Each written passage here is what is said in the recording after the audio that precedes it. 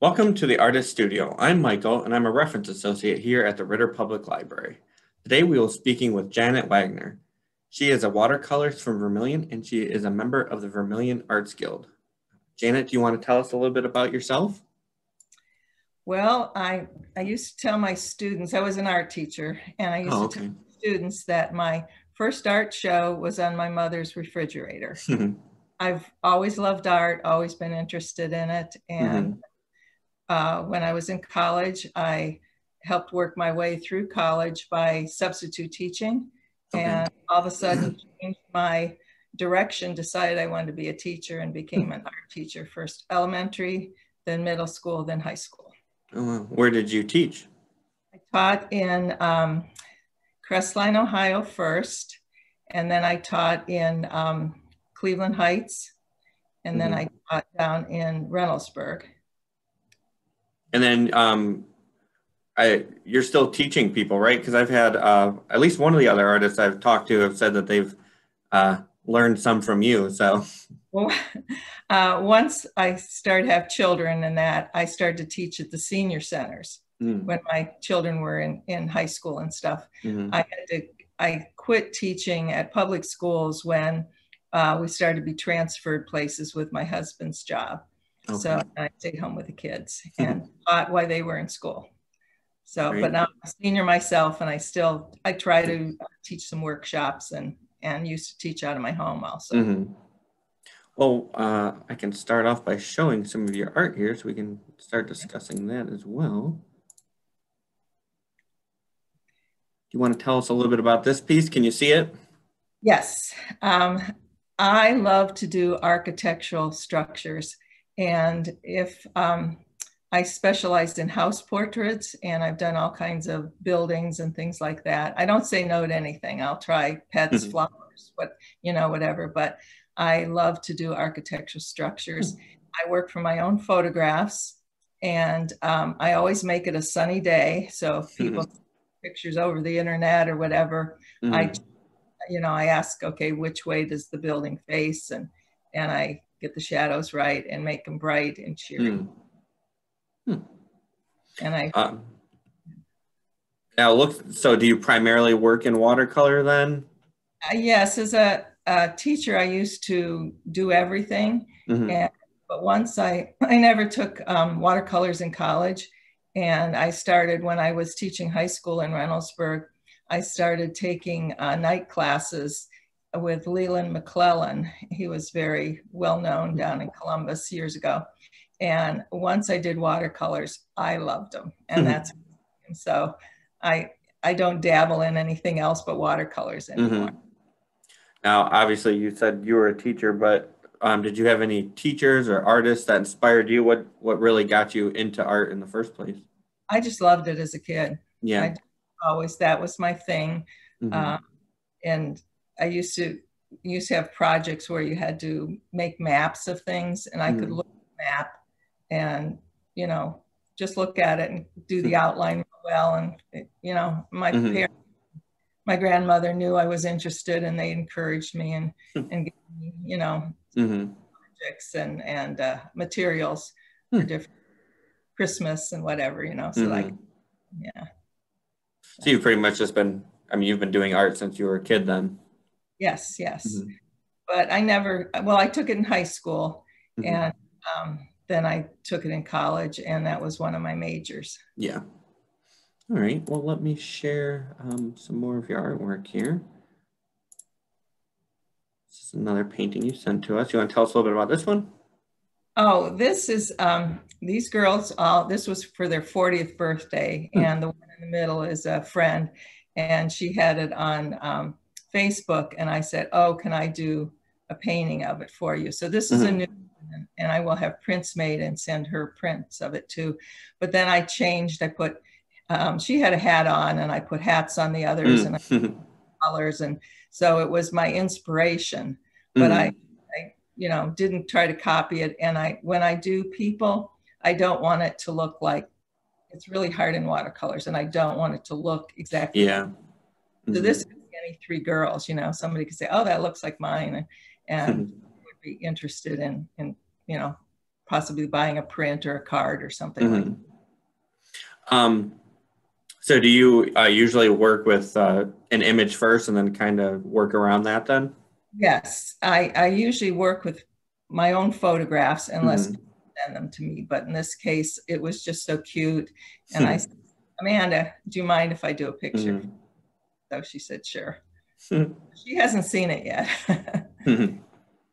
And then um, what is this, a picture of here? Uh, here in, in um, Linwood Park, and this one's under construction. So you can see, and I paint very large, mm-hmm. and then I make prints and things smaller. I really have the details in them. So this has not been cropped, and I have to um, to have prints made and everything. I take mm-hmm. them all color corrected because with watercolors, it's transparent. The white is the white of the paper.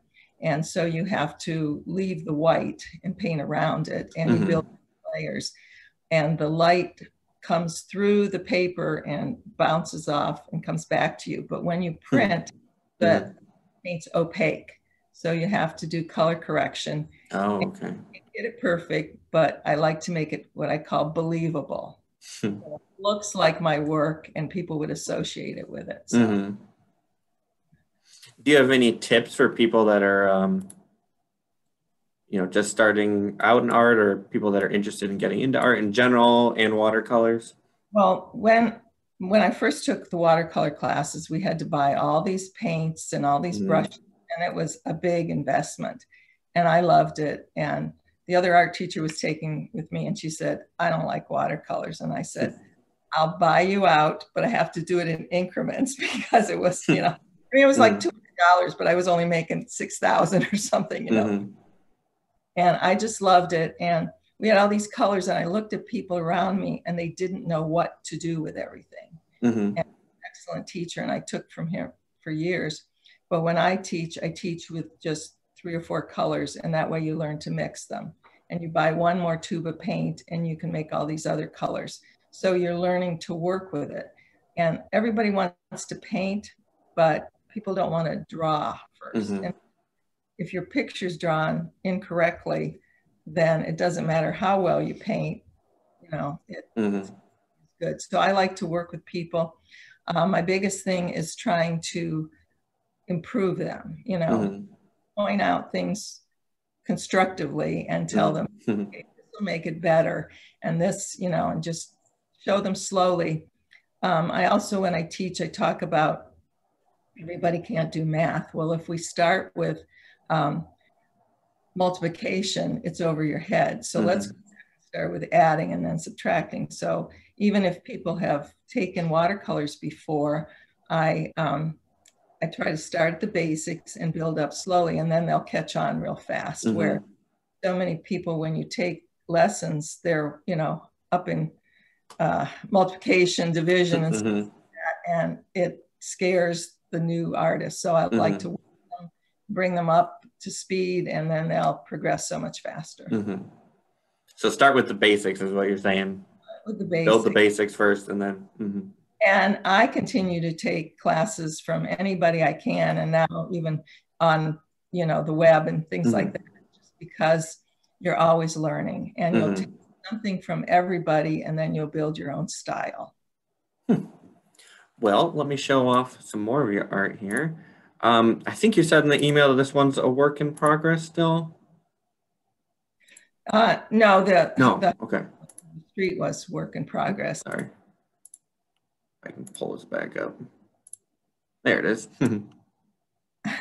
um, this is um, my daughter's neighbor, and it actually looks like my granddaughter too. She's a year hmm. younger. But this little girl just has to um, compete with her brothers, but yet obviously she dresses herself. I mean, she's got pumpkins on her socks. And, she, and this is my grandson's um, skateboard, and uh, she grabbed it. She wanted to try it. So it was just a, you know, out of a person. And I thought, oh, I'm going to work from this one. So, and it was mm-hmm. Fun to, to paint it. So, yeah. And then the last one we have here, I think the facades of a lot of different uh, locations in Vermilion was one of my biggest challenges um, because it was what to put in the picture and what to leave out. And I call this my Vermilion history. and so I've got, you know, the old buildings, the new buildings, and all Mhm. around.